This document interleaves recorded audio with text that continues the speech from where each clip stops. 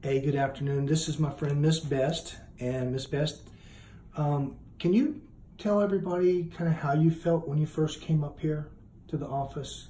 When I first came, physically I was feeling with pain and my energy level was down. I was kind of like even a little depressed.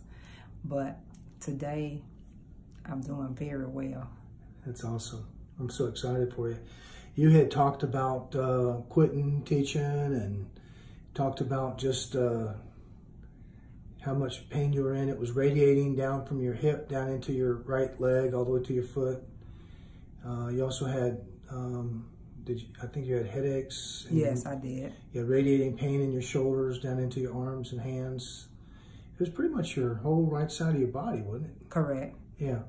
And so, let's see, today is like, what's your fourth visit or something like that? It is. Yeah. And and how you feeling now, you said? Today I feel I'm kind of like upbeat. My joys and, and my energy is back. And also I don't have any pain radiating down my uh, right arm. I can feel that I am improving. I have uh, I'm bouncing back physically, mentally, and also even my spirit level was down. And talking to Dr. Wade, he even been encouraging me, and I'm feeling 100% better than when I first started. I'm so excited for you. Thanks for sharing.